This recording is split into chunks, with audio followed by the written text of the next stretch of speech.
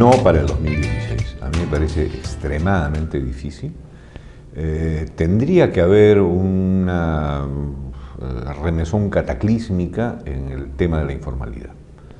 Si lo hubiera, que tendría que ser cataclísmico, insisto, o sea, un, un cambio muy profundo y violento, cosa que no creo que estemos dispuestos a, en este país a soportar tan fácilmente, pero si lo hubiera, este, creo que esa es la única posibilidad de rascar el 18%. No creo que lleguemos. Eh, ni con el comportamiento maravilloso de la economía, porque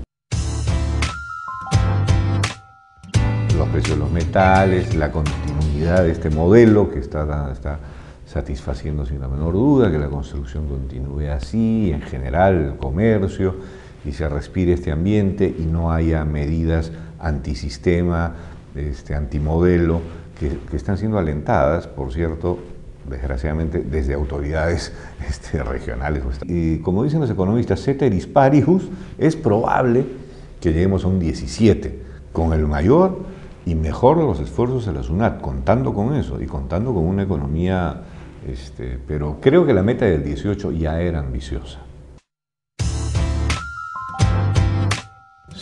Utilizáramos la misma metodología de esos otros países estaríamos en 20% y no en 15.5%, con lo cual solamente por corrección metodológica ya, habríamos, eh, nos hubiéramos acercado ya bastante a esos países.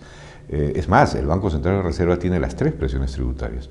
La presión tributaria, la, la de recursos de Tesoro Público por SUNAT, digamos, tiene la otra del gobierno general y tiene la presión tributaria total. O sea, sí se mide eh, lo que pasa es que oficialmente solo se conoce la más baja para seguir, desde mi punto de vista, justificando, ahora que ya no es necesario, este, más medidas contra un sector que ya está suficientemente eh, presionado tributariamente.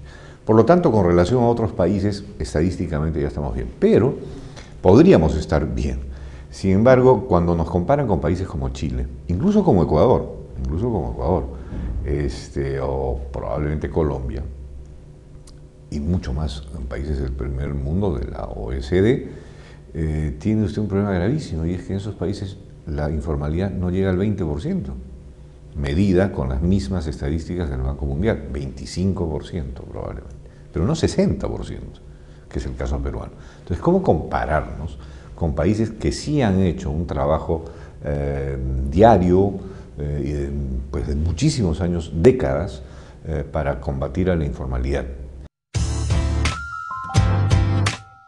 La única fórmula que funcionó, y funcionó en el año 92 cuando se reformó la SUNAT, fue incrementar la sensación de riesgo por el incumplimiento. Es decir, lo que tiene que ser costoso es ser informal.